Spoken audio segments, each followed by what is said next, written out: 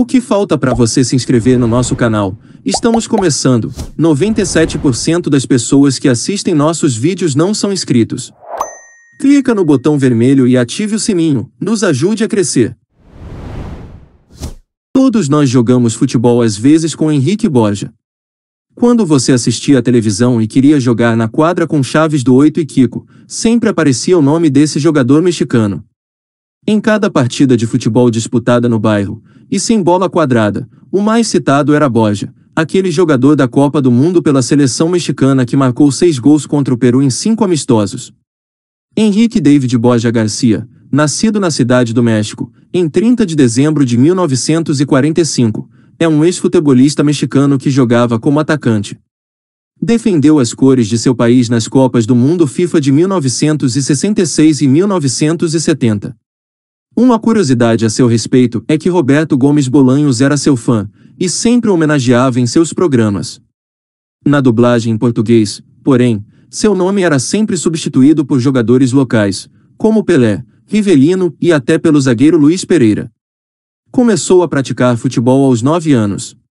Com a equipe Pumas de Launão, desenvolveu o seu talento. Nasceu das forças de base do Clube Universitário Nacional, onde fez parte de um grupo de jogadores lendários como Arão Padilha, José Luiz Gonzalez, Miguel Mejia Barón, entre outros. Borja Garcia foi o artilheiro, um dos melhores atacantes da história do futebol mexicano. O seu talento foi praticamente desenvolvido em duas equipes. A primeira foi o Pumas, onde se estreou e se desenvolveu como futebolista profissional e no América, onde obteve as suas maiores conquistas. O jovem estreou-se com os felinos em 1964, numa derrota por avassaladora frente à lendária equipe Ouro, de Guadalajara. Na época de estreia, Borja marcou cinco gols. Henrique Borja jogou cinco temporadas com o Pumas. No final da temporada 68-69, foi vendido para o América Clube, situação que incomodou muito o jovem futebolista, que dizia: Não sou um saco de batatas. O caso chegou à Justiça do Trabalho, onde a decisão não foi favorável e Borja teve que jogar pelo América, onde se sagrou tricampeão de pontuação individual, dois campeonatos, uma Copa do México e campeões da Taça CONCACAF. Henrique Borja jogou 65 jogos pela seleção mexicana entre 1966 e 1975, marcando 31 gols. Borja é o sexto artilheiro de todos os tempos da seleção mexicana.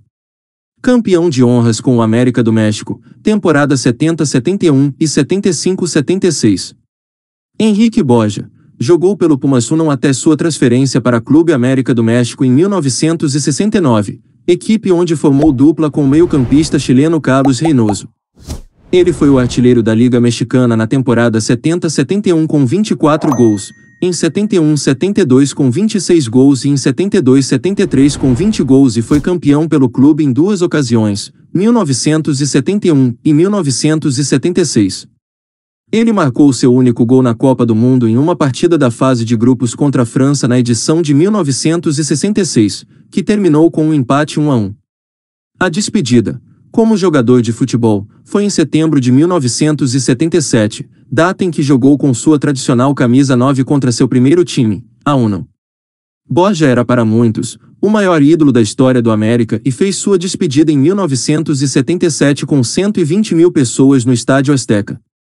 Ao se aposentar, tornou-se diretor e foi presidente do Clube Necaxa, outro time que apareceu repetidamente nos roteiros do Chaves do Oito, e também dos Tigres da Universidade Autônoma de Nuevo León em duas etapas entre a primeira de 1999 a 2000, alternando seu trabalho como presidente da federação, e um segundo entre outubro de 2007 e junho de 2009.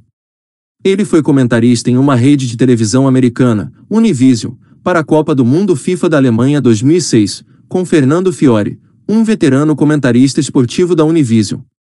Em 31 de outubro de 2007, ele assinou como presidente de clube para Tigres UANL do México após a destituição de Fernando Udiares da equipe. Foi destituído da presidência dos Tigres UANL em 25 de maio de 2009. E para finalizar esse breve resumo sobre a carreira deste jogador, que segundo especialistas foi um dos maiores ídolos da história do América do México, seguem algumas de suas conquistas. Títulos: Pelo América do México. Campeonato Mexicano, bicampeão. Copa México, campeão em 74. Campeão de campeões, em 76.